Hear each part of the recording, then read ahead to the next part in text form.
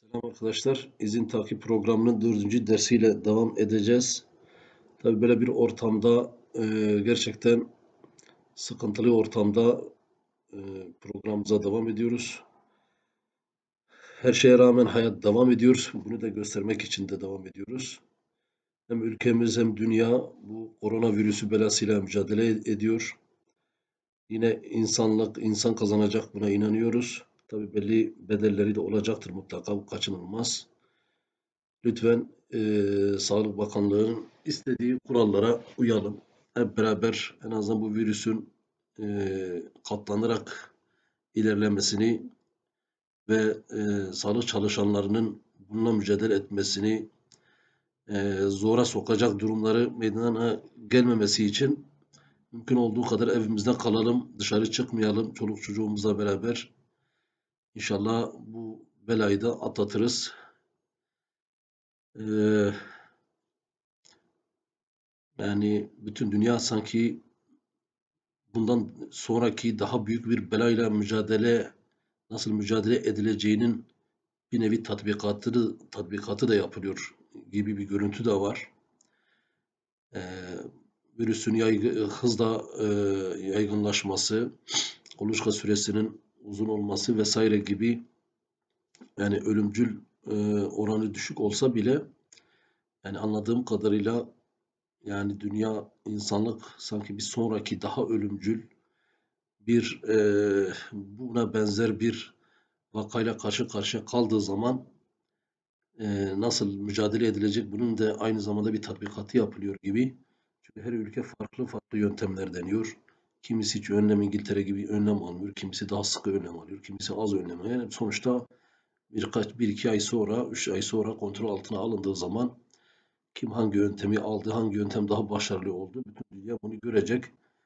Buna benzer bir sonraki e, salgında veya buna benzer tehlikede en azından ülkeler, insanlık, e, tıp bir dünyası nasıl bir yol, yol izleyeceğini de az çok anlamış olacak. Neyse başınızı ağrıtmayayım. Allah hepimize Allah hepimize yardım etsin. İnşallah kazasız belasız fazla ölüm olmadan bütün dünya olarak bunu da bu sorunun üstesinden geleceğiz.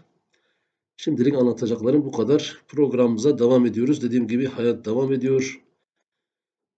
Her şeye rağmen. Arkadaşlar bu programı e, Konya Yunak Belediyesi için yazıyorum. Bunu da söyleyeyim. İnternetten şöyle bir logosunu buldum. Ben bu logoyu kopyalıyorum. Gelip ana sayfama yapıştırıyorum. Aynı zamanda şöyle bir resmin arkasındaki beyaz alanda nasıl kurtulacaksınız? Photoshop olmadan Excel'de nasıl yapacaksınız onu da göstereyim. Burada biçim menüsüne geliyorsunuz. Şu kırp yazan yeri açıp e, şurada şekile göre kırp deyip şu yuvarlağı tıkladığım zaman bakın arkasındaki yani alan beyaz alan gitti gördüğünüz gibi. Şuradaki beyazlığı da şu biçim boyacısından kapattım. Şöyle bir logosunu da aldım. Evet. Tabi bunu da kendilerinden izin alarak belirtiyorum ismi. Bunu daha önce hazırlamıştım. Şurayı sileyim. Şu ABC belediyesini sileyim. Hemen ekle menüsünden Word Art'a gelip şöyle bir şey yazalım. Yunak Belediyesi diyelim. Yunak e, Belediyesi Evet Yunak, Yunak Belediyesi şunun yazı rengini pardon şöyle getirdim buraya. Yazının rengini arkadaşlar şuradaki A A'dan değiştirebilirsiniz. Mesela hangisi daha iyi gözükür? Böyle beyaz yazı olsun. Yine bunun kontrolle bir kopyasını alıp aşağıya da izin takip programı diyeceğim arkadaşlar. İzin programı diyelim.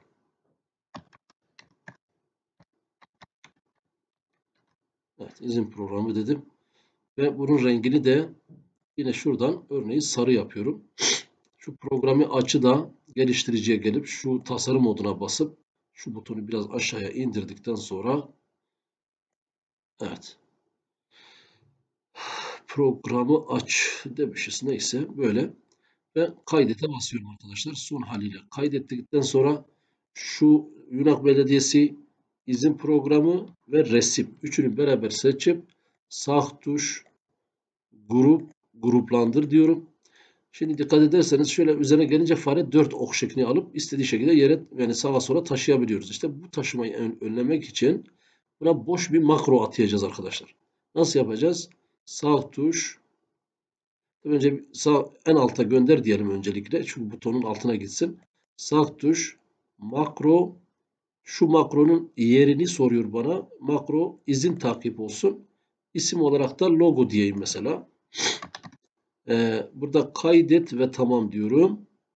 Hiçbir şey yapmadan geliştiriciden kaydı durdur diyorum. Ve boş yere tıklıyorum. Artık dikkat ederseniz şöyle üzerine fareyle tıklayınca hiçbir şey olmuyor. Sağa sola da götürüp getiremiyorsunuz. Bir nevi onu orada kilitlediniz. Tabi sağ tuşa basılırsa tabii ki alınıp e, yani seçilebiliyor. E, bu şekilde götürülüp getirilebilir. Tabi sağ tuşa basılması şartıyla ama normal şartlar artık bu böyle. Programı aç deyince de programımız açılıyor. Ee, geçen derste şurayı yapmıştık. Burası size biraz daha görüntü olarak daha güzel bir şey yapalım. Yine geliştiriciye gelip personel listesini e, şöyle biraz daraltabiliriz. Çok şöyle olsun. Şurayı da e, bunu mesela biraz daha farklı bir şekilde yapabiliriz örneğin. Diğerine benzemesin. Ana sayfadakine benzemesin mesela. Yeni kay personel kaydı şuraya alıyorum. Şu kapatı da e, şöyle buraya alayım. E, burayı silebilirim. Sonra şu şekilde olabilir örneğin. Şu arkadaki rengini de fazla beğenmedim işin doğrusu. Bunun da rengi şöyle olsun. Evet şöyle bir de arkadaşlar ben yüzüstü uzanarak çalışıyorum maalesef sabahtan akşama kadar masada çalışıyorum. Bir de burada da masa üzerinde masada çalışamıyorum çünkü sırtım ağrıyor. Böyle yüzüstü uzanmışım üstüme de bir battaniye atmışım. Önümde de bir yastık. Bu şekilde yüzüstü bazen sanki nefesim daralıyor gibi. O aslında göğsüme yapılan baskıdan dolayıdır. Kendimi bu şekilde daha rahat hissediyorum. Biraz başım da eğik olduğu için beyne de daha çok kan geliyor daha rahatım bu şekilde. Yani e, sadece biraz bazen burun akıntısı oluyor. Yüzüstü olunca tabii. Grip falan da değilim. Bunu da söyleyeyim. Çayım da hazır. Çay da içiyorum bu arada. Size de tavsiye ediyorum. Ee, şimdi ne yapmıştık? Personel kayıt demiştik arkadaşlar. Şimdi biz de burada ilk yapacağımız e, kaydettiğimiz personeli şu listeye çağırmak olsun bu derste. Hemen onunla başlayalım. Bir dakika. Evet şimdi listeye nereyi çağıracağız arkadaşlar? Şurayı çağıracağız. Şu alanı çağıracağız. Ee, B B'den I'ya kadar ki tabloyu nereye çağıracağız? Ee, şu personel listesine çağıralım. Şöyle küçülttüm ki başlıkları görebileyim. Hatta ben Excel'e şu butonuna tıklayıp e, ne diyorlardı buna? Neyse o üstteki araç çubuğunu yukarı çektik.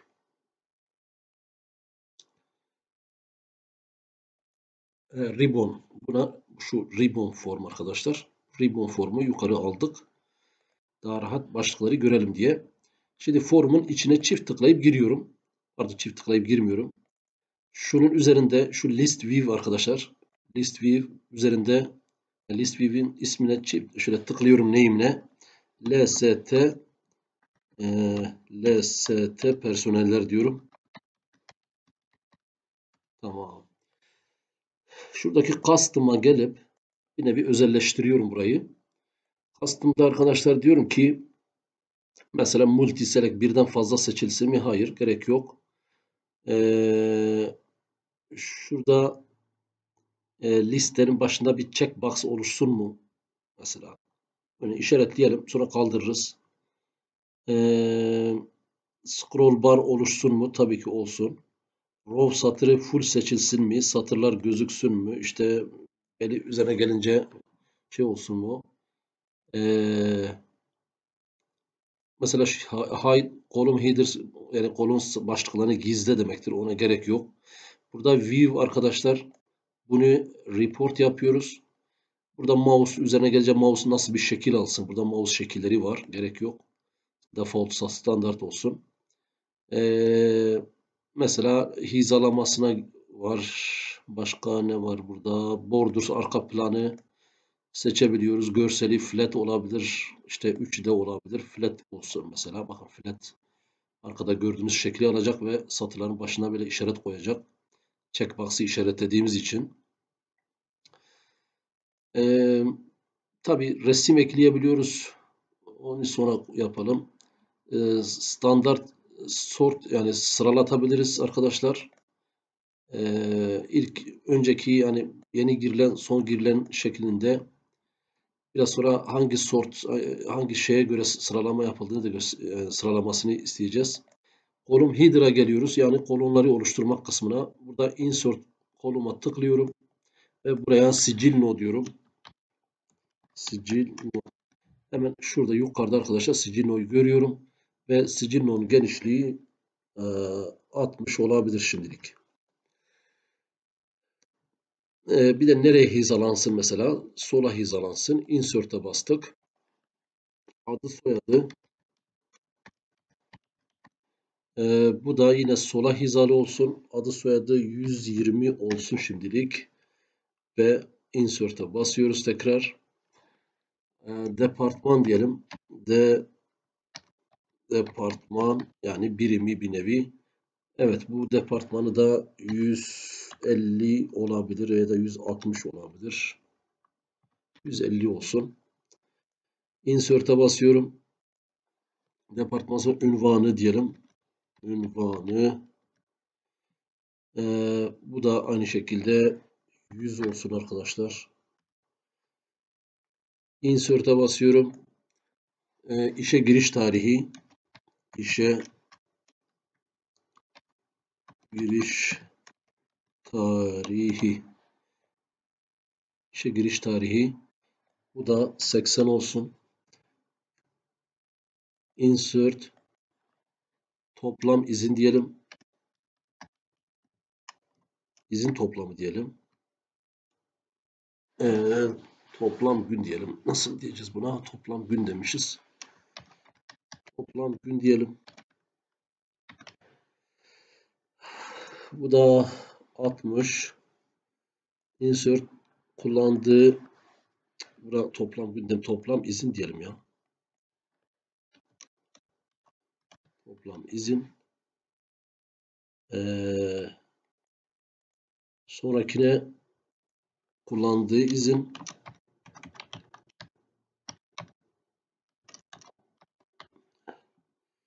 da kaç demiştik az önce 60 mı demiştik 60. Mesela bu sola mı sağ mı? Mesela bunu sağa hizala diyebiliriz. Bir öncekini de sağa hizala diyebiliriz. Tamam.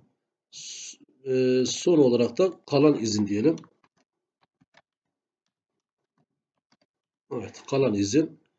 Buraya karışmıyorum. Uygula deyip tamam diyorum. Şimdi bakın çalıştırdığım zaman arkadaşlar gördüğünüz gibi Sicilno adı, soyadı, departman, ünvan, işe giriş tarihi, toplam izin, kullandığı izin, kal, kullandığı izin ve kalan izin diye ha, burada burada işe giriş tarihi uzun, toplam izin uzun. Evet bunların uzunlukları fazla vermişiz. Hemen düzeltelim arkadaşlar bunu. Ee, şöyle işe giriş tarihi 80 demişiz ya. Buna işe girişte diyebiliriz.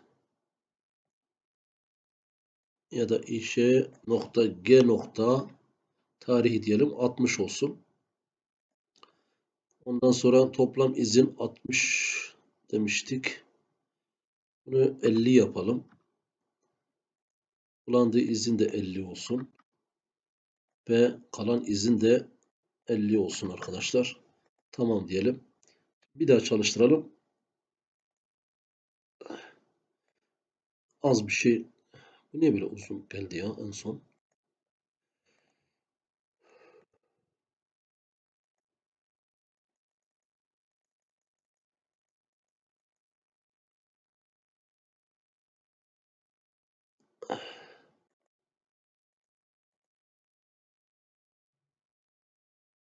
Şunu biraz uzatacağız. Şöyle biraz uzatalım. Şunu da şöyle. Burayı da şöyle yaptıktan sonra frame'imizi uzattık. Ve list view'imizi de şöyle çektikten sonra bir daha çalıştırdığımızda birazcık da fazla oldu hatta. Hemen o fazla göz kararıyla şu kadarı fazla gibiydi.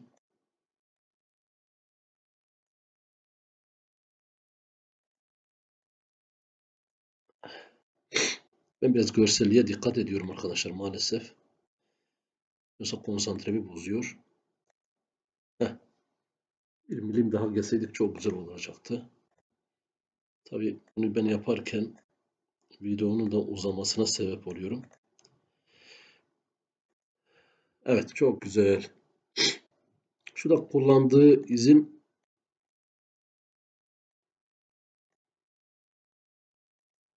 Evet bu şekilde şu kullandığı izni biraz uzatsak iyi olurdu. Kullandığı izin ha şurası 50 değil de 55 yapsak benden daha iyi olacak. Evet şu anda tamam. Şu anda tamam arkadaşlar orası. Yani programımızı açıyoruz. Personeller diyoruz. Şurada personellerimizi göreceğiz. Şurada kayıt edebiliyoruz personellerimizi. Şimdi hemen buraya çağıralım hepsini arkadaşlar. Tabi personel listesine geliyorum.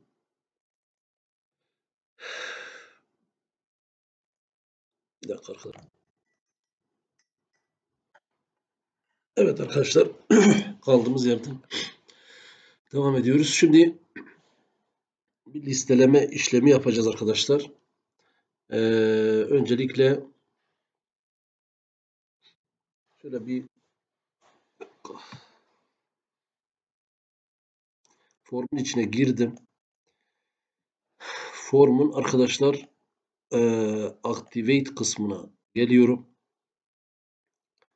Buraya listele hatta isim olarak da şey personel listele diyelim. Personel listele diye bir prosedür oluşturdum arkadaşlar. Hemen şuraya sub e, personel listele diye aynen yukarıda yazdığım gibi prosedür adımı buraya yazdım. Bir değişken tanımlıyorum. dim x as long diyorum. Ondan sonra e, dim item as list item diyorum. Dim prs diyelim. Item demeyelim. prs as list item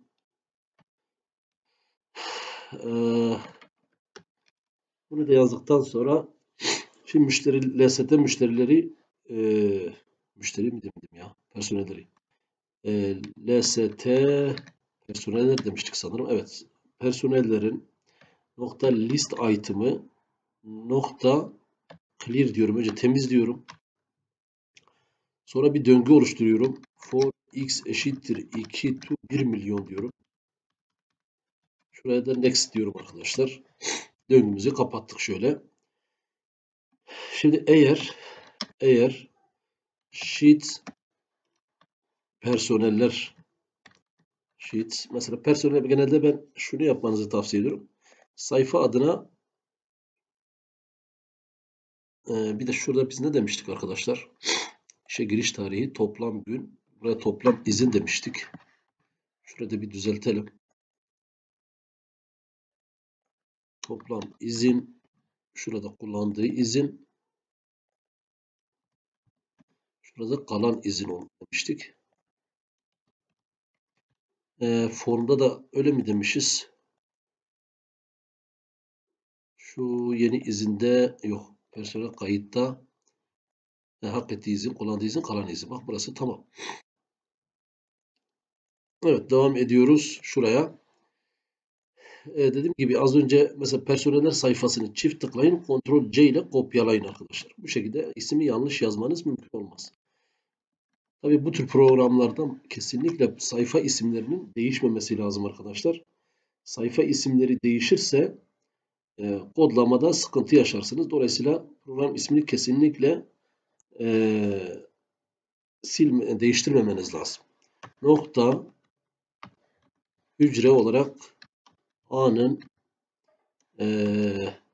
A'nın A'nın x'i diyoruz. Nokta value eşittir boş ise exit for diyoruz arkadaşlar. Exit for diyerek yani döngüden çıkıyoruz. Peki şimdi nasıl e, listeleyeceğiz? Listeye nasıl atama yapacağız arkadaşlar? Ona dikkat edelim. Şimdi öncelikle bir set diyorum. Set prs e, set prs eşittir lst personeller nokta nokta list item arkadaşlar nokta add yani ekle. Şimdi ekle dedikten sonra parantezi açıyorum. Burada text diyorum. İki nokta üstte eşittir arkadaşlar. Ha, nereye neyi eklediğimi hemen söylüyorum. Tabi listede görünmesini istediğinizi e, keşke ID de ekleseydik ya.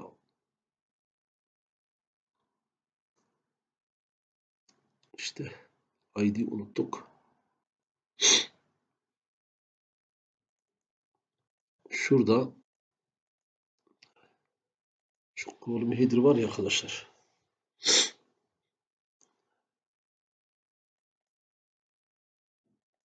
Heh, tamam. İyi. Şuraya ID diyorum arkadaşlar önce. Şöyle keseyim. Buraya ID bunun buna sıfır diyorum. İşte buraya da yapıştırıp şurası Cilno dedik. Az önce 60 mıydı? Cilno 60. Böyle gidiyoruz. Tamam dedim. Bakın değişen hiçbir şey olmadı. Neyse kodlam, kodda yarım kaldığı için böyle dedim. Neyse. Tabi bakacağız biraz sonra ona. Şimdi neyi ekliyoruz? Ee, sheets arkadaşlar tırnak içinde yine person personeller sayfasındaki e, range a'nın x'inin değerini ekliyoruz önce. Bak, burası önemli. Burayı ekledikten sonra e, bundan sonrası arkadaşlar sub item'la sırayla artık kolonları atayacağız. Diyeceğiz ki e, prs nokta e, sub item sub item 1'e tamam mı? Ne atıyoruz? Aynen şurayı alıyorum. Ctrl C ve buraya yapıştırıyorum. Buraya B'yi alıyoruz. Ondan sonra şu satırı ee, PRS. Burada ne eksik bırakmışız? She's personeller nokta range B'nin x'i nokta value dedik. Ee, niye böyle bir hata verdi ya? Heh. Şuna gerek yok. Şunu kopyalıyorum arkadaşlar. Yapıştırıyorum. Şöyle. Tabi bunu biraz küçülteyim sayfaya hem başlıkları göreyim. Tamam. Şimdi 1'de Sicilno, 2'de adı soyadı, 3, 4, 5, 6, 7, 8 tane. 1, 2, 3, 4, 5, 6, 7, 8. Tamam. Şimdi buraya ikinci sütuna, sıfırıncı sütundan başladığı için arkadaşlar sıfırıncı sütuna e, ID attı. Şimdi birinci sütuna adı şey sicil no.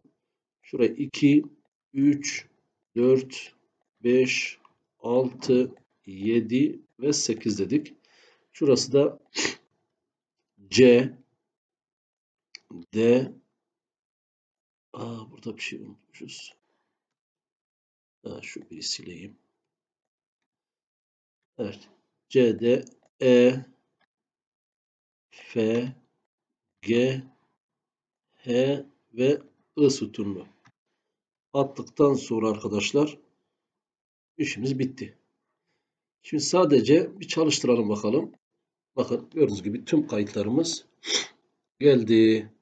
Şimdi bunu şu e, mesela buradan çalıştıralım. Programı aç dediğim zaman personeller gördüğünüz gibi tüm personellerimizin listesini burada görebiliyoruz artık. Evet arkadaşlar. Bir dakika arkadaşlar. Evet arkadaşlar şöyle bir çalıştırayım. De şöyle bir dikkat ederseniz bakın en üstte kim var? Zeki Gün var. Bakın en altta Zeki Gün.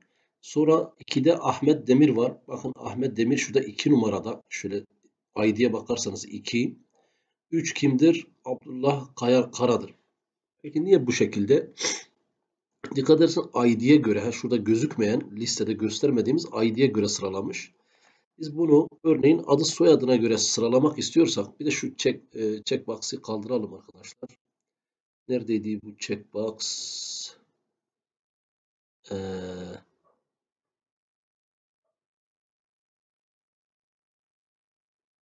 şunu işaretleyelim. Neyse şöyle sorta geliyorum arkadaşlar sırala. Bakın ben sıfırda ID var. Birde sicil numarası. 2'de adı soyadı var. Ben buraya 2 diyorum. Ve OK diyorum. Şimdi çalıştırdığım zaman mesela adı soyadına göre sıraya koymuş olması lazım. Bakın bu şekilde Abdullah, Ahmet, Cemal bu şekilde Zeki en sonda. Bence bu şekilde daha güzel arkadaşlar. Mesela şöyle çift tıkladığım zaman ID'nin üzerinde ID neyse burada sorun yok. Buraya kadar tamam. Personel listemizi oluşturduk. Şimdiye kadar programı açtığımız zaman personeller diyoruz. Mesela bir kayıt yapalım arkadaşlar. Örneğin e, B harfiyle başlayan birisini yazalım. Sicil numarasını yazdık. Bayram hmm, Bayram soyadını da, soyadını da yazalım. Bayram Gümüş diyelim. Departmanını seçtik. Ünvanını seçtik arkadaşlar. İşe giriş tarihi 2012 diyelim.